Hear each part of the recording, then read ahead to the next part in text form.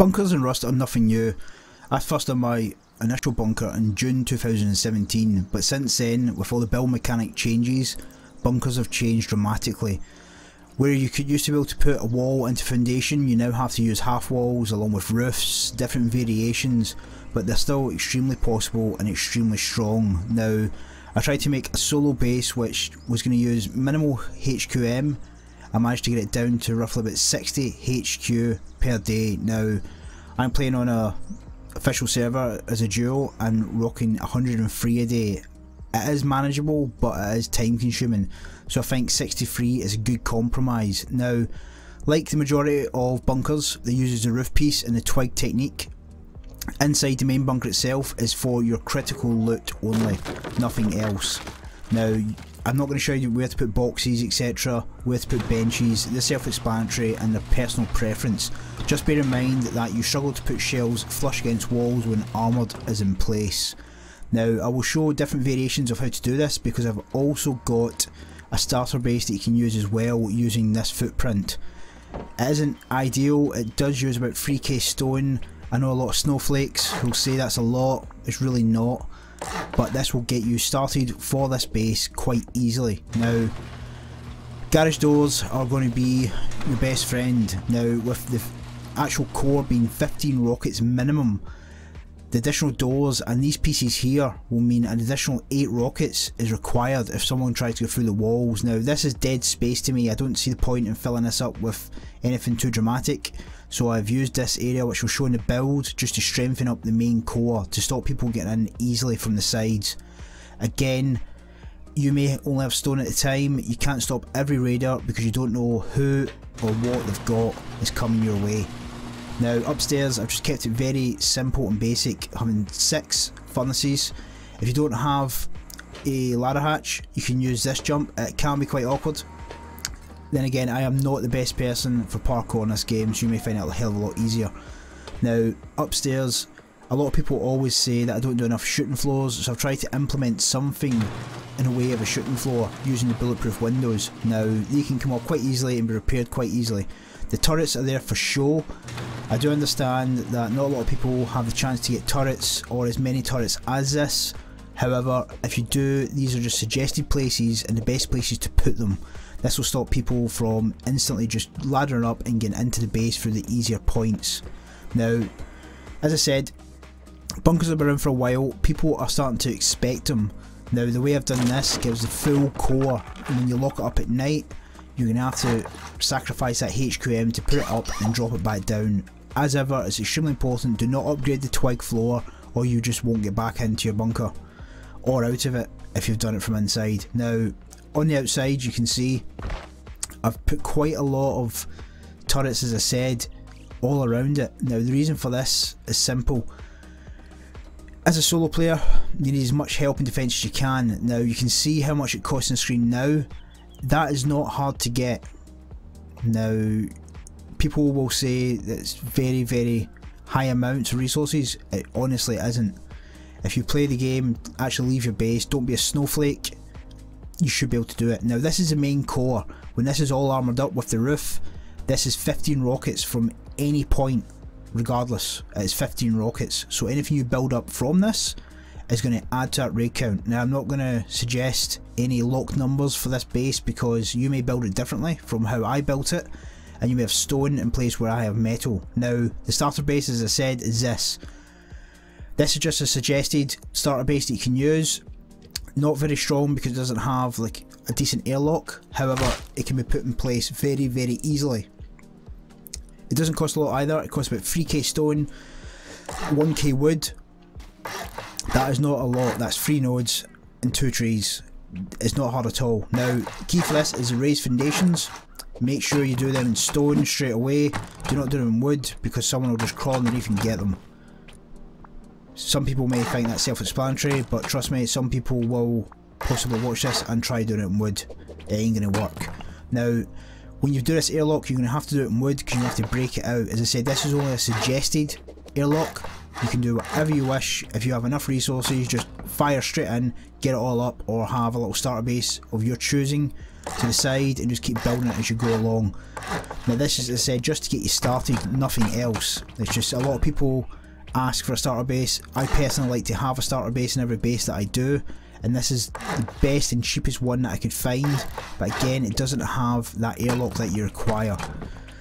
Now once that's done you're secure but I would not leave that for too long, try and build out as soon as you can.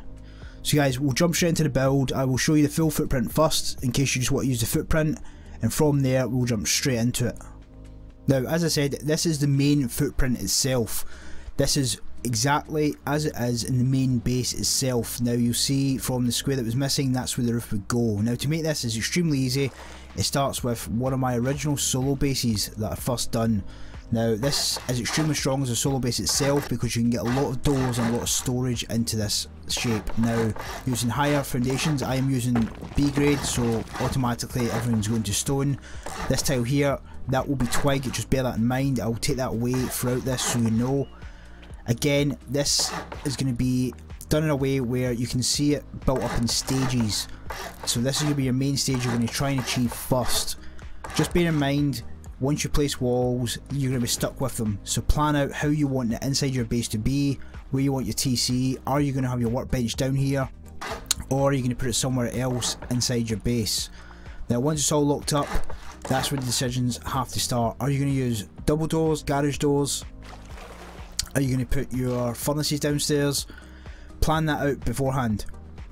So at the moment, you're going to have one main door. Again, you're not going to have much of an airlock because of the way you're doing it. You're going to have to build out from that, but it's just one of the risks you're going to have to take to make sure you can build it progressively. Again, if you are using a starter base out with this, then you're fine. Now, I'm going to go for the bulletproof window for the TC. I tried to put the unlootable TC in this, but it was just, it was too much hassle to be honest. You can try and do it yourself by all means, but it just didn't really make any sense. Now inside you're only going to want to do the floor in metal because if they get to that stage then they're already there basically. Now once this stage is done you're going to start working your way out. Now I'll do all the foundations and how it's built because I am a big big advocate of doing your base differently inside. If every base looks the same, people are going to know exactly how to get it and it will surprise you how many people actually look on YouTube to see if they can see the base for the easiest way to raid it. That's why I tried to make sure the core was a solid 15 rockets regardless of from where you come in. Now, I said before, these sections are critical. These have to be half walls because if these aren't armoured up, they can literally just peek in through the roof and shoot down, take out the twig and it drops it down anyway. So this gives it the full 15 rockets all the way around. Now, I will not go through this whole video, I will just go through the main sections because uh, as I said, I want you to actually take lead on some of the base yourself. I'll get it to full armor point, I'll take it to midway through how it's built and through the actual build itself, and the rest you can take away as ideas and tips of how you can actually do stuff. As you can see now, I am armouring all of this just to show you exactly what it looked like and how you get the solid 15 rockets for the core. You don't have to worry about doing your TC in armoured, you can if you wish. However, personally, I think if someone gets in this far, they're probably going to go all the way, so you're just wasting HQM and upkeep. But, depends how many, if you've got two or three in here and you're just living in a squeeze, then you might want to do all of it armoured inside, even the floor, but I, personally think it would be too much. Now, this can be quite an annoying jump, in Twig, you can use stairs. This will allow you to get up and down when, when your actual roof piece isn't in place. It is annoying. You can put furnace down as well, but it means you have to pick it up and uh, replenish it every time. I recommend you using Twig. It's a lot easier. Now for the upper floor, you're just literally going to put walls all the way around. Start from your half walls you put in place and just put them all the way in. Now Make sure if you're doing stone they're not backwards, I'll fix that one in a second. Just take it all the way around and just wrap it just the same as the core itself. This means you can start functioning up. I'd probably try and get the front of the base done and just lock down the outer rim with doors for the time being. This will not take you long to build. Now the armoured core side, yes, I think it will. depending on how you play. A lot of people scrap a hell of a lot of stuff.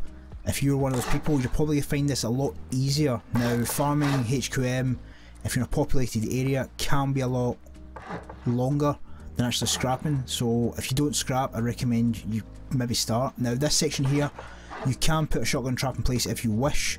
It's just like a last stand, so someone gets in, takes them out. We'll stick a trap in here now.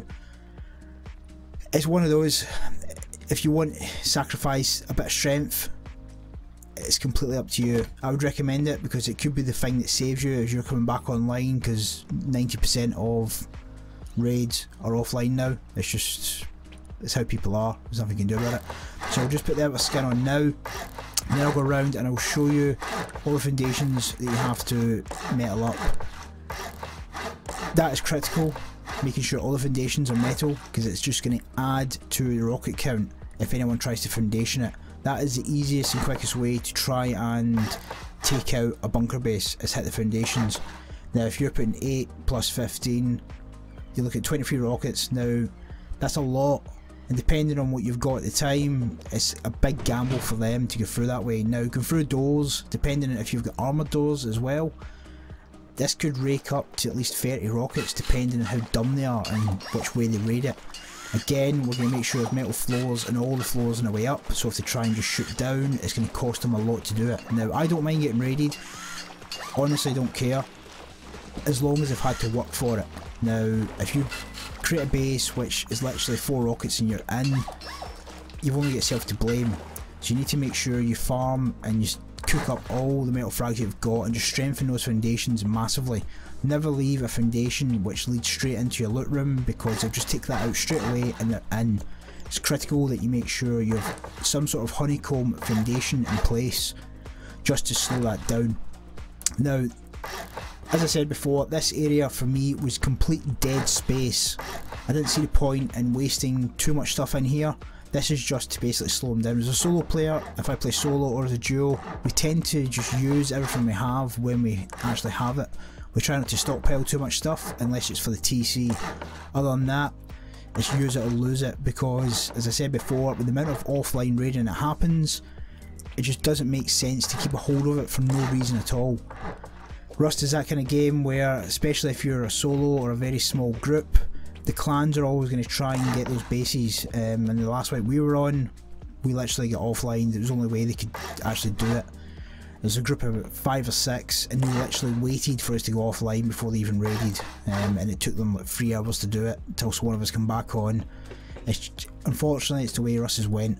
Now, these bits here, Again, this is just adding extra protection to where the armoured is, so if they blow out the wall, four rockets, then they're straight into the armoured. This will add another eight rockets to that section, so it means you can leave the outer skin of walls above the foundation as stone. You may not want to do this, but I highly recommend it. Do it for all the triangles. It's just, honestly, it will pay dividends in the end if someone just tries to take the walls out and try split through. It means they're going to have to go through sheet metal and stone and armour. It's just adding to that actual rocket count.